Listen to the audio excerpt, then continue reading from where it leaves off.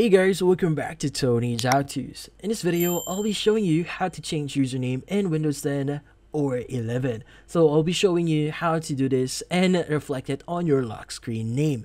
Before we start, hurry up and check out our latest offer just under this video. So let's get started.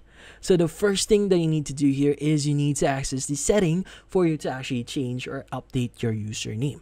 Now in this case, at the bottom left of your screen, you should see your search there. So in this case, just type in the following, which is going to be control panel. Now let's go ahead and open that up. Now from here, what we need to do is we need to search for the appropriate settings. Now, if you don't have the same UI that you are seeing on your screen here, you need to change your view by at the top right. So in this case, set this to large icons instead of category, which is this is the default thing or the default UI that you'll be seeing. Now in this case, I would suggest you to change this to large icons. Now in this case, once you've done that, go ahead and click on the user icon section and once you've done that, we need to click on the option that says change account name.